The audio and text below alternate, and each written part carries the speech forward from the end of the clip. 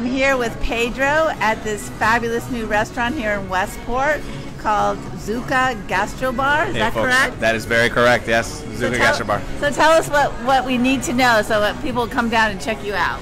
Uh, let's see. We've been open. We're going into our first month starting this Thursday. I believe it'll be a first. It'll be our first month. Uh, you know, it's been good. Westport has really accepted us. Uh, you know, for what we are, and you know, we're grateful for that. And I don't know if anyone out there knows, but we're connected with Molto in Fairfield and Spiga in uh, New Canaan, and so you know, those are established restaurants. So. Those are some of my favorites. Oh, yeah. So tell us a little bit about your menu.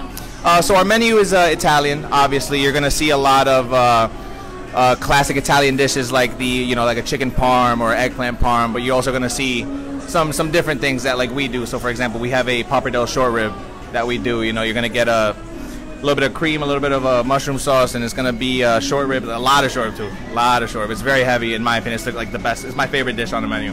That's awesome. Well, for us vegetarians, you said that the eggplant parmesan is also really good. Oh right? yeah, it's got it's uh, essentially like a tower. It's called the eggplant tower. So we stack our uh, our eggplant pieces on top of each other with cheese in the middle. There is no pasta, but you know we, it looks like a lasagna and it's phenomenal. Also, our eggplant rollatini is a perfect uh, dish for anyone that's vegetarian.